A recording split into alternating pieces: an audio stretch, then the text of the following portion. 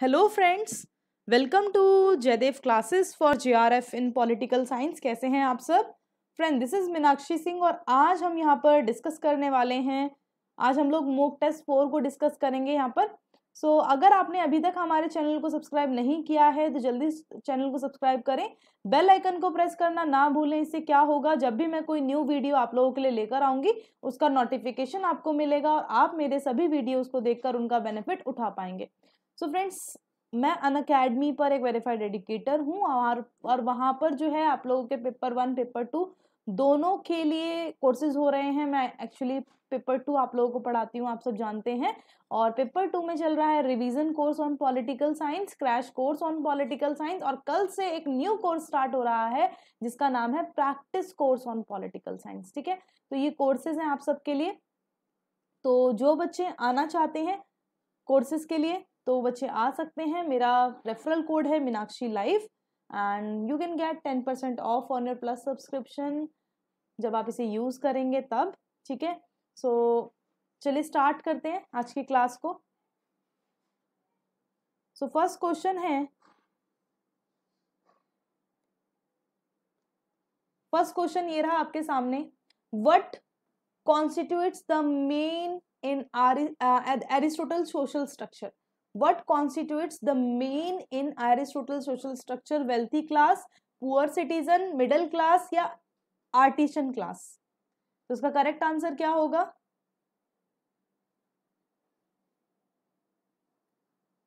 ठीक है, इसका हिंदी में आपको दिखा देती हूँ एक बार। अरस्तु की सामाजिक संरचना का मतलब है धनवान वर्ग, गरीब नागरिक, मध्य वर्ग या कारीगर वर्ग। तो उसका करेक्ट आंसर बताना है आपको। अरस्तु की सामाजिक संरचना का क्या मतलब है? धनवान वर्ग, गरीब नागरिक, मध्य वर्ग या कारीगर वर्ग? ठीक है, इसका करेक्ट आंसर जो हो जाएगा, वो हो जाएगा middle class option number C इसका करेक्ट आंसर हो जाएगा।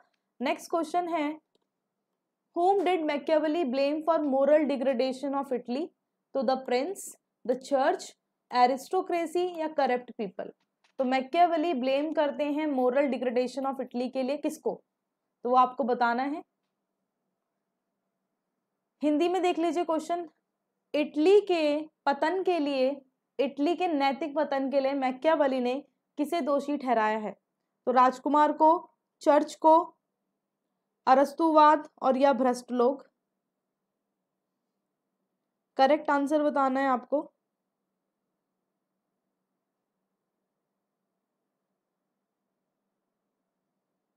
ठीक है सो इसका करेक्ट आंसर जो हो जाएगा, इटली के नैतिक पतन के लिए मैक्यावली ने किसको दोषी ठहराया? तो वो चर्च को ठहराते हैं, ठीक है? ध्यान रखिएगा, मैक्यावली ब्लेम करते हैं मोरल डिग्रेडेशन ऑफ़ इटली के लिए किसको? द चर्च को। Next question question number third ध्यान से पढ़िएगा question for Hegel which one of the following is correct family thesis bourgeois society is antithesis and state represent synthesis rational is real and real is rational contradiction are not obstacle preventing us reaching truth D option है all of above correct answer बताना है.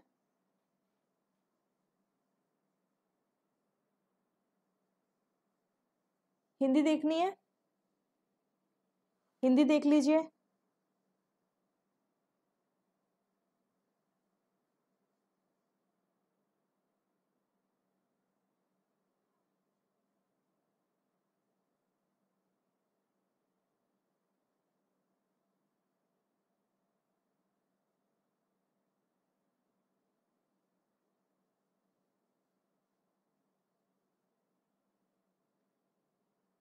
ठीक है, इसका correct answer जो जाएगा वो जाएगा ऑल ऑफ़ अबव ठीक है? All of above is the right answer Hindi में समझ लेते हैं। परिवार थीसिस है, बुज़ुर्ग समाज थीसिस विरोधी है, राज्य विश्लेषण, जो राज्य संश्लेषण का प्रतिनिधित्व करता है, तरसंगत वास्तविक है, वास्तविक तरसंगत है, विरोधाभास हमें सच्चाई तक पहुँचने से रोकने वाली बाधाएँ नहीं है तो करेक्ट आंसर क्या हो जाएगा? उपरोक्त सभी हो जाएगा, ठीक है? तो all of above is the right answer next question है who among the following criticise Bentham philosophy as a pig philosophy Who among the following criticize Bentham philosophy as a pig philosophy? तो Leslie Stephen है Karl Marx हैं Carlyle हैं chess मिल हैं। Correct answer क्या होगा? निम्नलिखित में से किसने बैंथम के दर्शन को सुअर दर्शन की आलोचना करके बोला है? तो स्टिफन है कार्लमार्क्स हैं करलाइन हैं जेएस मिल हैं। तो करेक्ट आंसर हो जाएगा ऑप्शन नंबर सी ठीक है? ऑप्शन नंबर सी इसका करेक्ट आंसर हो जाएगा। हु अमंग द फॉलोइंग तो भाई कार्ले जो हैं, ये क्रिटिसाइज करते हैं बैंथम फिलोसफी को पिक फिलोसफी कह के। तो ये ध्यान रखिएगा। नेक्स्ट क्वेश्चन है which of the following is correct so far as John Rawls writing are concern तो देखिए कौन सी है और कौन सी नहीं।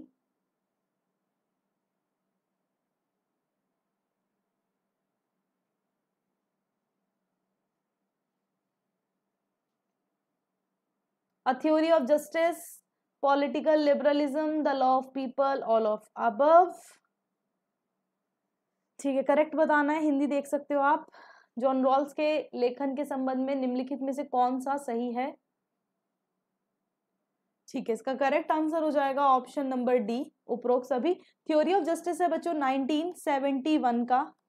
ये आपका 1971 का है। ये आपका 19 नाइनटीन थ्री का है। ठीक है, दोनों। तो ये ध्यान रखिएगा।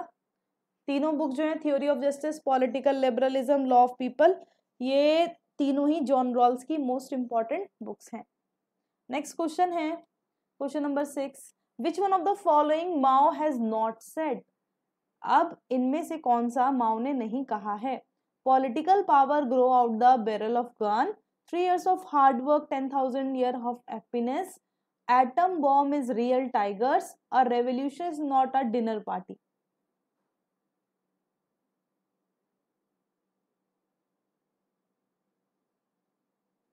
इसमें करेक्ट आंसर हिंदी में देख लो एक बार। निम्नलिखित में से कौन सा माओ ने नहीं कहा है? राजनीतिक शक्ति बंदूक की बैरल से बाहर बढ़ती है। तीन साल की कड़ी मेहनत, दस हज़ार साल की खुशी है। एटम बम असली बाग है और एक क्रांति डिनर पार्टी नहीं है। इसमें राइट आंसर आपका ऑप्शन नंबर सी हो जाएगा। ठीक है कि atom bombs is real tigers तो ये उन्होंने नहीं कहा है।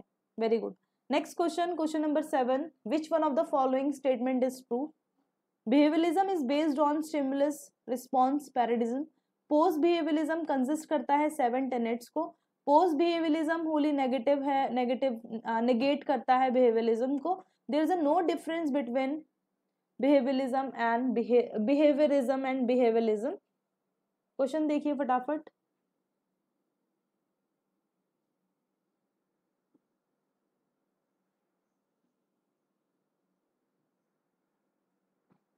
हिंदी देखनी है? हिंदी दिखा देती हूँ, दो मिनट रुकेगा. ये रहा निम्नलिखित कथनों में से कौन सा सही है? इसका करेक्ट आंसर जो हो जाएगा तो वो जाएगा ऑप्शन नंबर बी ठीक है? तो option number B post behavioralism में कंजिस्ट करते हैं सेवन टेनेट्स ठीक है? तो ऑप्शन नंबर बी इसका करेक्ट आंसर हो जाएगा। ठीक है? बिहेवियलिज्म में एट एट एट बताते हैं डेविड ईस्टन और इसमें बताते हैं सेवन ठीक है? तो ध्यान रखिएगा। Question number eight given below two statement दी हुई हैं, एक असर्शन है, दूसरी रीजन है। तो Karl Marx term early socialist as utopian socialist reason कहता है? They attack the capitalist system it question देखिए फटाफट।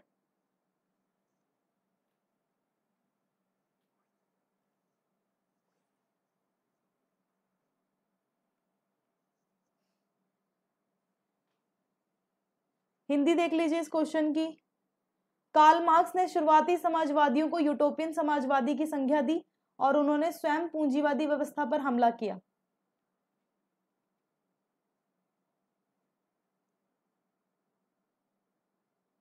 इसका करेक्ट आंसर हो जाएगा ऑप्शन नंबर बी ठीक है? देखो ऑप्शन नंबर बी क्यों होगा? कार्ल मार्क्स ने शुरुआती समाजवादियों को यूटोपियन समाजवादी की संज्ञा दी। अब यूटोपियन बोला किसे जाता है? अब ये ध्यान रखना। यूटोपियन समाजवादी यानी कि जिन जो बातें एक तरह से क्या करते हैं? बातें करते हैं ठीक है? लेकिन हम वो उनका कोई रेलिवेंट नहीं होता। उन बातों का कोई रिलेवेंट नहीं होता ठीक है? उन बातों का कोई अर, मतलब अर्थ तो एक तरह से अर्थ हम बोल सकते हैं लेकिन हम उसको अपनी उनको मतलब उन बातों को हम एक रियल लाइफ में अप्लाई नहीं कर पाते हैं। ठीक है तो कल कार्ल मार्क्स ने शुरुआती समाजवादियों को क्या बोलते हैं? यूटोपियन समाजवादी बोलते हैं। अब कहते हैं उन्होंने स्वयं पूंजीवादी व्यवस्था पर हमला किया। तो इसका राइट आंसर देखो, इसमें करेक्ट तो आपके ये स्पष्टीकरण नहीं है बट दोनों ठीक है और ए आर ए का सही स्पष्टीकरण नहीं है। तो करेक्ट आंसर इसका ऑप्शन नंबर बी ही होगा। And next question question number nine identify करना है करेक्ट सिक्वेंस प्लेटोज के फोर कंपोनेंट्स ऑफ़ वर्च्यू का। Justice courage temperance and wisdom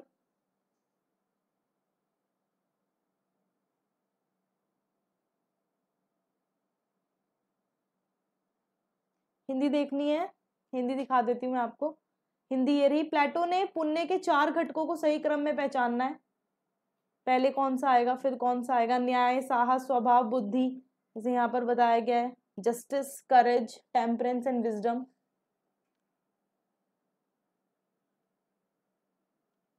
ठीक है, इसका करेक्ट आंसर देखो, सबसे पहले आएगा आपका विजडम फ़र्स्ट नंबर पे, ठीक है?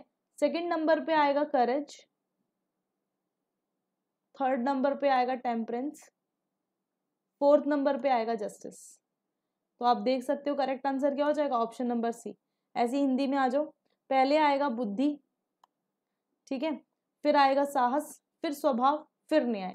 करेक्ट आंसर हो जाएगा option number C very good last question आज की क्लास का. मोस्ट इंपॉर्टेंट क्वेश्चन है मैच करना है लिस्ट वन को लिस्ट टू से सिलेक्ट करना है करेक्ट जो कोर्ट्स आपको दिए हुए हैं, सावरकर एम एन रॉय और बिंदु घोष, जयप्रकाश नारायण।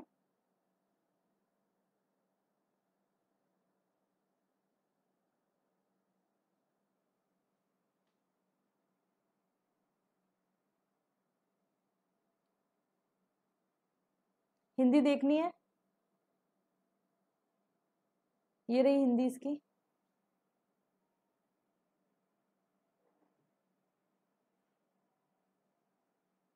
ठीक है, इसका हम, इसको हम कर लेते हैं, ठीक है? एम एन रॉय कानपुर षडयंत्र सावरकर सभी राजनीति का हिंदूकरण करें, और बिंदु घोष, एक गुप्त समाज, है ना? और जयप्रकाश नारायण, भारतीय राजनीतिकरण के पुनर्निर्माण की दलील पुस्तक के लेखक। ऐसी आ जाओ इसमें सावरकर हो जाएँगे Hinduism M N Roy Kanpur conspiracy case? और Bindu Ghosh, lotus and dagger वाले से हो जाएगा और जयप्रकाश नारायण और प्ली ऑफ़ रिकंस्ट्रक्शन हो जाएगा। So thank you so much आज के लिए इतना ही। अगर आप लोगों को ये मोक टेस्ट पसंद आया तो ज़रूर लाइक करें। And thank you thanks for watching bye bye to all bye bye